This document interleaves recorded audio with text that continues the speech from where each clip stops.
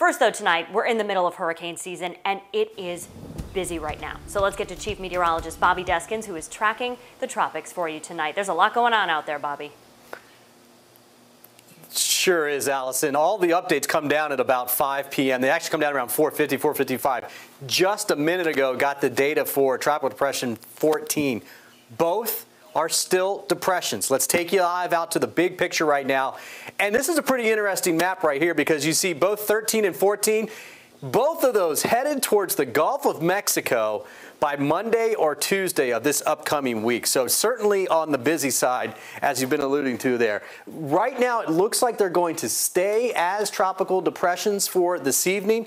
Let's take a live look right now down towards Tropical Depression 13. Now, this is the one I think that we have to watch a little bit closer because this one, look at that could be a minimal category one hurricane by Monday evening near Miami and then coming right across the southern part of the state, including just about right over Tampa here by Monday night into Tuesday morning. Now, things are going to change, and I'll talk about that coming up my full forecast, but you can see the forecast models here for 13. Some good news there. They're actually starting to trend a little bit towards the east, which would be good news and make that turn. Uh, but right now, we have to plan that we're going to have a pretty good chance to see at least a tropical storm in the area. Now, here's the second wave. This is 14, Tropical Depression 14.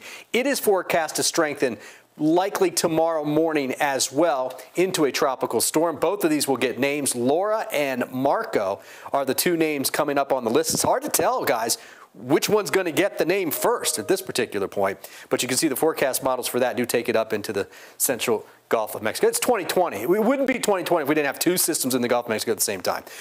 Tropical storm watches have been extended into Puerto Rico. I'll show you a closer view of that, and we'll talk local weather with some of those thunderstorms that are out there in just a little bit.